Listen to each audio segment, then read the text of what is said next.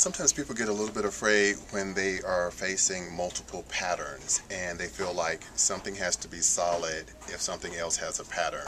And you don't have to do that. Here's a great example of how you can mix your patterns and still make it work. We have this great bag here that has an animal print to it and the slacks behind it have a very subtle pattern. So basically what you can do is think of the slacks as if they were a solid and because the pattern on the bag is more bold just think of this as a solid and then think of this as your pattern. And because the unifying element is this sort of taupey beige color it all ties together.